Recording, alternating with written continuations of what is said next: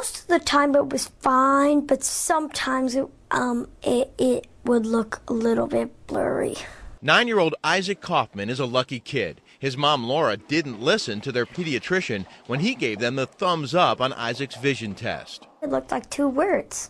I wasn't reading much when my eyes were like that.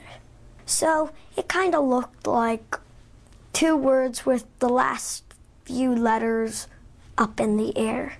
Her motherly instincts kicked in when she noticed Isaac was squinting just to read the eye chart.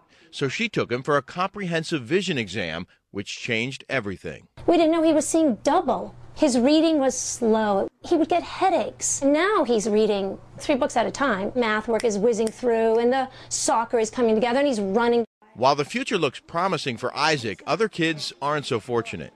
Studies show that 86% of children start school without ever having their eye examination, and the American Eye-Q survey of 2008 showed that 65% of parents had not taken their children in for an eye exam this year. Dr. Andrea Thau says vision is the most important sense for learning, and she's amazed parents will skimp out on a vision test. Children that come in that have been labeled as learning problems or have not reading well or not functioning well actually have vision problems that once corrected enable that child to become the best they can be. And ADD for some kids could be more of a vision problem than behavioral.